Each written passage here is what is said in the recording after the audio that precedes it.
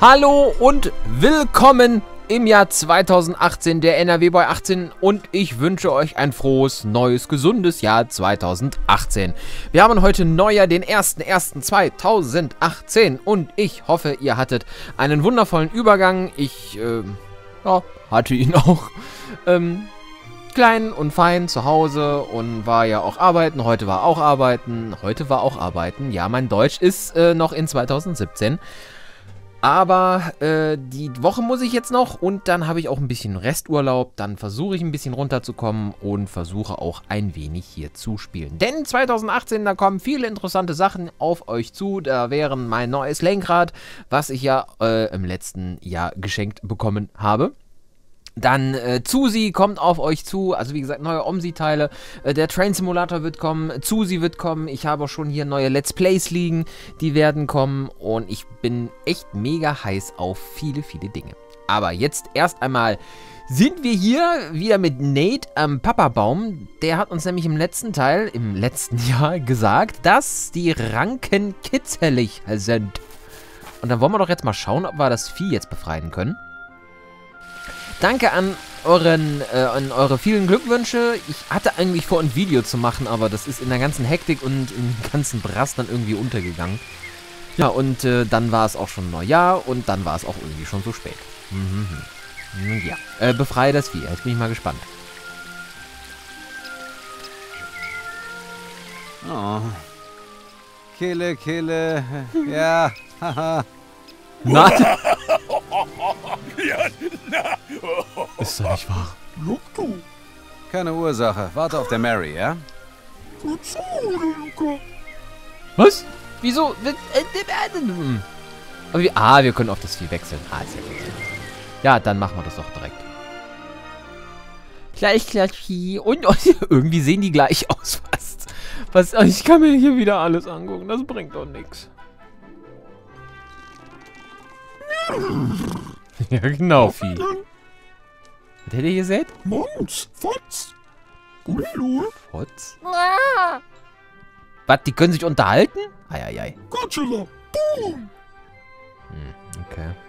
Es ist immer halt so eine Sache, das Vieh zu verstehen. Das ist immer sehr interessant. Goody, äh, betrachte den... Godzilla. Oh. Oh, abgearbeitet. Box. Box. Ja. Aber Boxus, Loxus, Noxus. Drinus. Griffgutus. Kulalaba. Griffgutus. Kulalaba. Okay. Also es ist immer wieder faszinierend, äh, was das Vieh von sich gibt.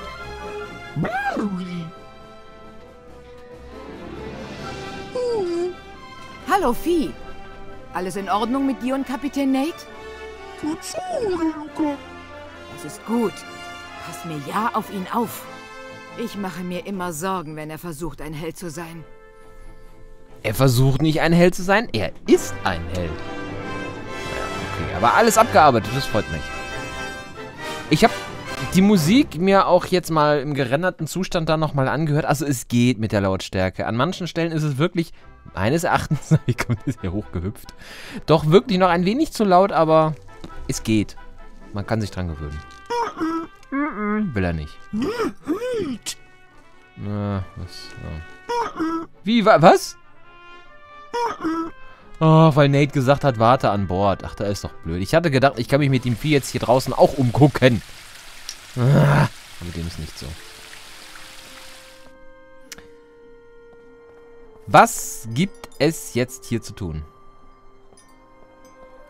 Vielleicht ist der Zylinder ein Geschenk einer Kobold-Delegation. Wobei, dafür ist er eigentlich zu groß. Hm.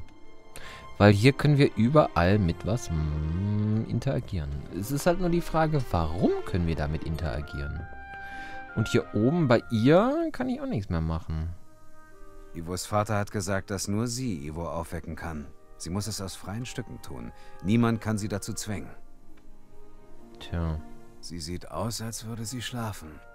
Aber ihr Vater meinte, es sei mehr als ein Schlaf. Für sie würde die Zeit stillstehen. Hm. Und ansonsten, ja, der Spiegel, das ist halt jetzt das Phänomen. Hätten wir jetzt Reisepulver, könnten wir uns da vielleicht irgendwas mopsen oder so. Was haben wir überhaupt? Äh, Schilfrohr, leere Dosen, Notizbuch, reißfeste Schnur. Können wir da... Daran erinnere ich mich noch aus meiner Kindheit. Man verbindet die Dosen mit der Man Schnur und kann dann über mehrere Meter mit jemand anderem sprechen. Genau. Genauso wie man es auch ohne die Dosen könnte.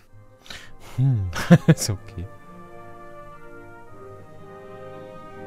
Ach so, hat er sogar gemacht. Selbstgebautes. Ah, haha. Okay, kann ich jetzt hier sonst noch irgendwas mitmachen? Nein, das hier war das Notizbuch. Äh. Was ist denn das? Das ist der berühmte Reisebericht, der in einer vergessenen Sprache über die Stadt Lorem Ipsum berichtet.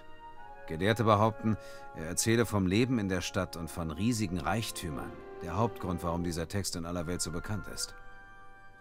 Hm. Was ist das? Der Autor scheint diesen Hieroglyphen eine große Bedeutung zuzuweisen. Hm, wenn ich sie doch nur lesen könnte. Ach, warum haben die Leute damals nicht einfach unter die Bildchen geschrieben, was sie bedeuten sollen? Was, das war's? Ah, da. Hallo? Der Autor dieses Tagebuchs hat die Stadt nie gefunden. Deswegen weiß ich nicht, ob das Bild der Stadt seiner Fantasie entsprungen ist oder ob es auf Beschreibungen basiert. Lorem ipsum dolor sit amet consectetur ja. adipisci elet sed eos mod tempor incidunt ut labore et dolore magna aliqua ut enem ad minim veniam quis nostrut exercitation olamco labores nisi ut aliquid ex ea commodi consequat. Und so weiter. Hm, für mich ist das nur eine Aneinanderreihung sinnloser Worte. Ich hätte das noch nicht mal vorlesen können. Allein schon dieses Wort hier, was soll das heißen? Das ist ein. Hier zum Schluss ist es ein. Naja, eine Wellenlinie, sagen wir mal so. Gut, aber. Das ist der berühmte Reise. Ja. Behaupten. Lorem Ja, ja. und so weiter. Und so weiter. Für mich ist das nur eine Aneinanderreihung. Ja. Selbst wenn die Stadt mal so ausgesehen haben sollte, sie ist vor Jahrtausenden untergegangen. Heute dürften nicht mehr als ein paar Ruinen übrig sein. Wie groß sind da die Chancen, dass das Buch der Toten überlebt hat? Mhm. Ach genau, das, das hatten wir vor. Genau, jetzt weiß ich auch. Ah, jetzt bin ich wieder auf dem Laufenden. Können wir nicht hier, äh, hier ist gut, in der Bibliothek danach äh, suchen und irgendwas finden vielleicht? Ich frage mich, ob... Hier, Die Hieroglyphen. das habe ich gesucht. Nein. Hat er jetzt etwa... In dem Buch wird beschrieben, was die Symbole bedeuten. Ah. Das erste ist hm, eine Art kantiger Stein. Äh, äh, wähle das Symbol aus. Ja, hier ist doch... Ja, also das hier ist 3. Ja, aber was? Wähle das Symbol aus. Dieser kantige Stein. Mäh. ist auch schlecht. Äh, Gott ist, äh... Ed. Natürlich, das Wort. Ach, da, hier. Edelsteine, Juwelen. Das ist ein sehr vielversprechender Anfang. Das zweite Symbol. Wüste. Ja, macht Sinn. Die Stadt befindet sich irgendwo in der Umzu-Wüste. Weiter. Füße? Was haben Füße damit zu tun? Kann man die Stadt nur zu Fuß erreichen? Das nächste Symbol. Drei. Drei Füße? Das ist ungewöhnlich. Vielleicht bringt das letzte Symbol Aufklärung. Drei... Drei Tage oder was? Durch die Wüste? Keine Ahnung, zum Berg? Berge. Juwelen, Wüste, Berge. Das Juwel der Wüste am Fuße der drei Berge. Das ist es. Lorem Ipsum, die Stadt mit den Dächern aus Gold, ist das Juwel der Wüste und sie liegt am Fuße dreier Berge. Ja, oder so. Hab ich doch gesagt. Und diese drei Berge müssen sich westlich von Bremen-N befinden. Das sollte zu finden sein. Äh, ja, und jetzt? Können wir da jetzt hinfliegen oder was?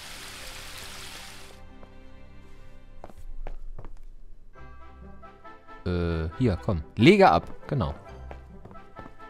Auf geht's! Ja.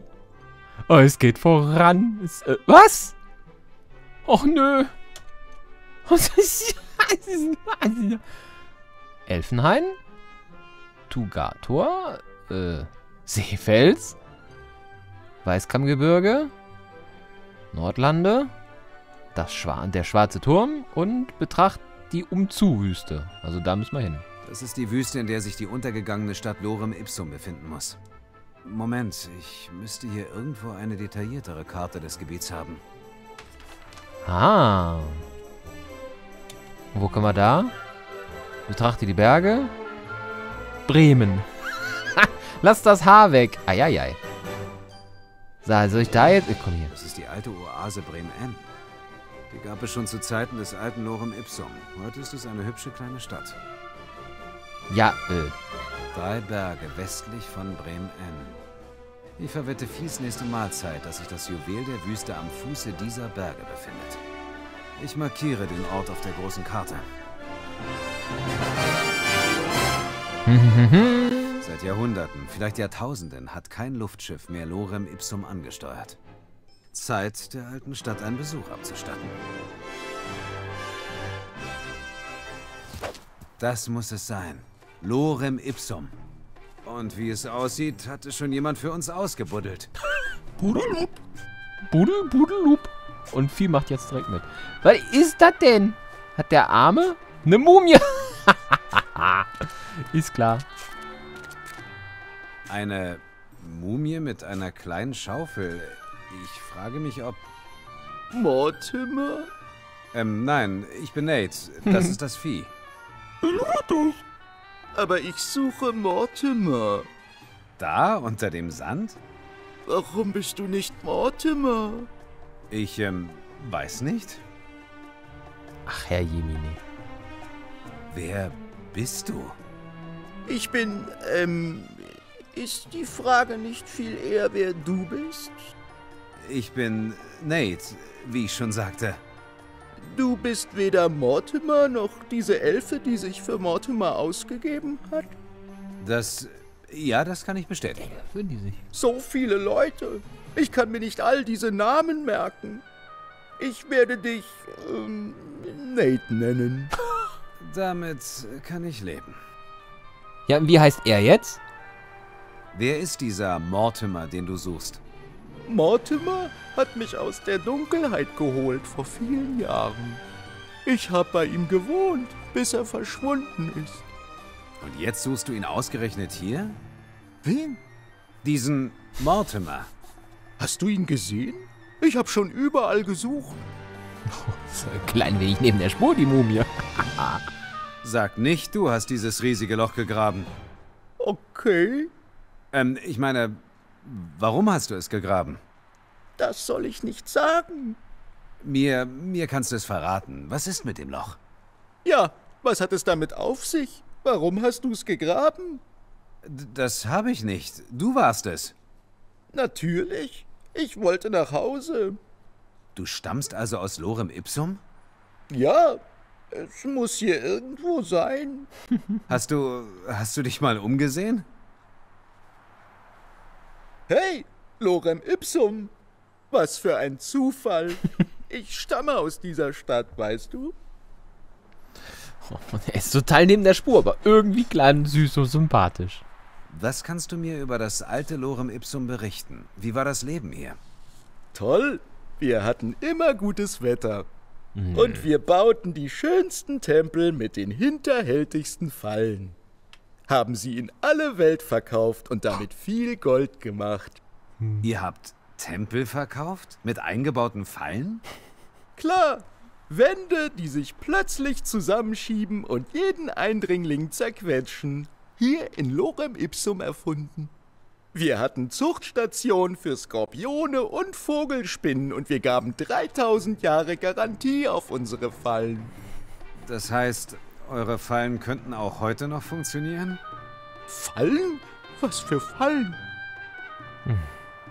Ich suche ein Buch. Ich hab eins gesehen.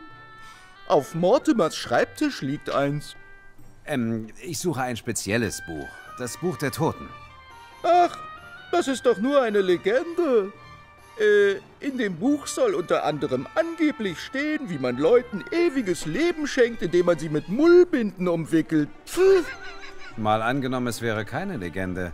Wo hätte man das Buch der Toten versteckt? Ah, das Buch der Toten. Einige sagen, es sei nur eine Legende.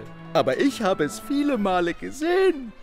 Es wurde ins Grabmal des letzten Pharao von Lorem Ipsum gelegt, dem verrückten Tut-Tut. Ist klar, tut, tut. Warum hat die Mumie so ein komisches spitzes Kinn? Das sieht irgendwie komisch aus. Und dieser Tutut, der ist wo begraben? Er liegt unter einer gewaltigen Pyramide, so einer wie der da. Wenn ich es mir genau überlege, sogar genauso einer wie der da. Hm, Was glaubst du? Warum hat hier jemand eine Pyramide hingestellt, die genauso aussieht wie die von Tut Tut? Wie kommt man in Tututs Pyramide? Wer ist Tut Tut? Und von was für einer Pyramide redest du da? Na, vergiss es. Was soll ich vergessen? Da ist auch so ein komischer Pixelfehler unter dem sein Kinn. Seht ihr das hier, wo mein Cursor jetzt ist? Entweder ist das irgendwas, was an seinem Kinn runterhängt, oder es ist ein Grafikfehler. Eins von beiden. Wird Mumien bei der Einbalsamierung nicht das Gehirn entfernt? Das ist komisch. Durch ich die könnte Ohren. schwören, ich Nee, hätte Augen, genau äh, nee, diese Frage Nase. schon einmal gehört. Das möchte ich wetten. Ich muss weiter. Und du, äh, du solltest vielleicht mal für ein paar Stunden aus der Sonne raus. Ich habe keine Zeit für Pausen. Ich suche eine Stadt. Sie muss hier irgendwo sein. Fängt wieder von vorne an. oh Gott, nee, ist ja knuffig. Ach du Scheiße. Hotspot Mania. Ein Obelisk. Wie alles andere muss er für Jahrtausende im Sand gelegen haben. Ein Obelisk. Wie alles andere muss... Eine halbrunde Vertiefung. Im Inneren wurden Linien und Zahlen in den Fels geritzt. Vielleicht irgendwelche Berechnungen oder was Religiöses. Keine Ahnung, was das ist.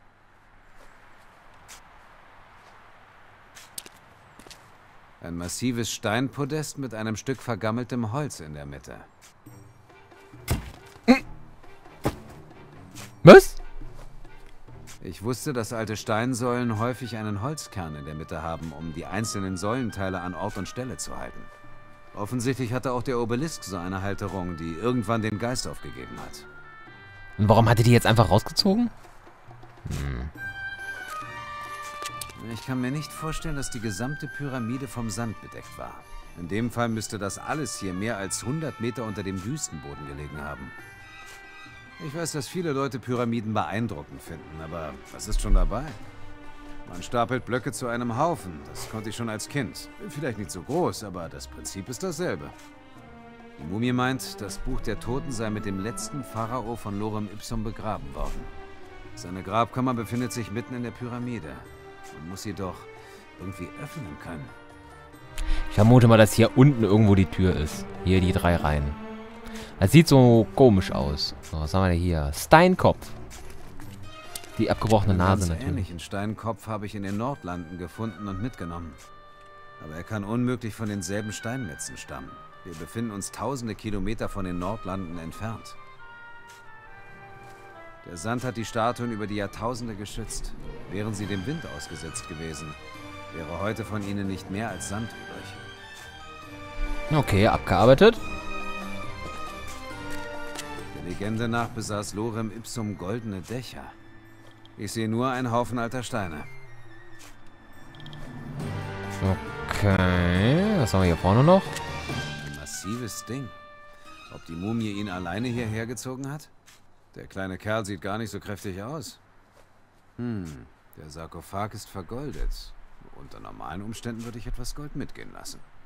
Aber es ist etwas anderes, wenn der Bewohner des Sarkophags putzmunter ist und ihn noch braucht. Na, was war das?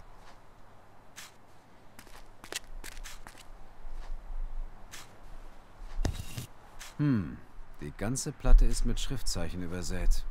Hieroglyphen, etwas, das wie altzwergisch aussieht und ganz normale Zeichen. Advero, eos, et accusam, et justo duo dolores, et ea rebum. Das ist dieselbe vergessene Sprache, in der der Lorem Ipsum Text verfasst ist. Hm, okay. Ja, mit dem Vieh. Oder soll ich mit dem Vieh? Komm, ich rede mir mit dem Vieh. Hallo, mit dem Vieh reden. Hey, Vieh, Was? übernimm du mal. Ich muss nachdenken.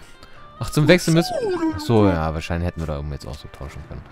Äh, Vieh, ich will, ich will's Vieh. Ja, jetzt verstehen wir sowieso... Ja. Verstehen wir sowieso nicht, was der will.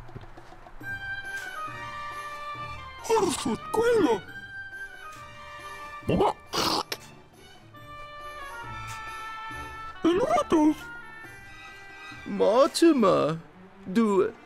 Du bist so haarig. Sadalupa. Kein Wunder, dass ich dich so lange nicht finden konnte. Ich hätte dich fast nicht erkannt. Klefkutos. Kulalabo. Meinst du? Naja, wir können es ja probieren. Aber ich weiß wirklich nicht, warum da unten ein Friseur sein sollte. genau. Queput. Ja. TikTok. Ich kürze das mal ab, weil... Ja. Das bringt alles nix. Was haben wir denn da mit der Sternplatte? Der, bleibt da drüben, das ist gut. Das ist die Karte. Eine Steinplatte mit Schriftzeichen in drei verschiedenen Sprachen. Ich kann keine davon lesen. Was ist, wenn ich der Mumie das... Nein, auch nicht. Nochmal mit ihr rede vielleicht? Hi. Wer. Wer sind Sie? Ach. Und was tun Sie hier? Äh, ah. Ich habe diese Steinplatte gefunden. Was steht da? Da steht, danke, dass Sie sich für den Kauf einer Pyramide-Modell Weltwunder entschieden haben. In drei Sprachen. Es. Es ist eine Betriebsanleitung? Unsere untergegangenen Tempel konnten recht kompliziert werden. Steht da, wie man die Pyramide öffnen kann? Nutzungsbedingungen, Gewährleistung, Reinigung. Da! Richten Sie die Pyramide genau nach Norden aus. Positionieren Sie Obelisk A mit Hilfe von Holzstift F in die Vertiefung G auf Steinsockel B. Wir empfehlen für den Aufbau Sklaven. Nicht im Lieferumfang enthalten. Jeden Tag um 3 Uhr nachmittags zeigt der Schatten des Obelisken auf den Stein, mit dem man den geheimen Zugang öffnen kann. Warum schreiben Sie nicht einfach, welchen Stein man drücken muss? Wer schreibt denn sowas? Ich muss weiter. Aha. Auf jeden Fall haben... Tschüss. Genau, haben wir jetzt eine, naja, heiße Spur, eine erste heiße Spur, was wir hier machen müssen. Und der Spur werden wir nachgehen, aber erst im nächsten Teil. Bis dann, NRW Boy 18. Adieu.